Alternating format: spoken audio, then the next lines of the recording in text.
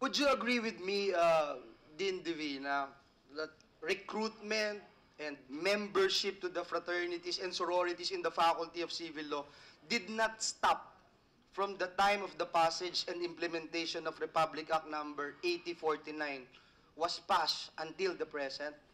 Mr. Chairman, I, I don't think there's something wrong with joining fraternity. It's a very noble organization. It exists for lawful purposes to foster brotherhood and camaraderie and give support to one another. So there's nothing wrong in joining fraternity. Hazing is wrong in all accounts, so far as we are concerned. But hazing is not synonymous with fraternity joining, Mr. Chairman.